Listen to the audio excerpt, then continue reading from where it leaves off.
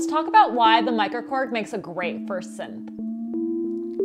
So the microKORG has been around for 20 years and that's for a reason. It's super compact, it can be battery operated, it's under five pounds, it has a vocoder with the mic included, it has 128 programs, and also it's just really intuitive. Taking a look at the five knobs on the top, you'll see that we have cutoff, resonance, attack, release, and tempo. But note that these five knobs actually edit multiple parameters, and you can see that when we look at the Edit Select section.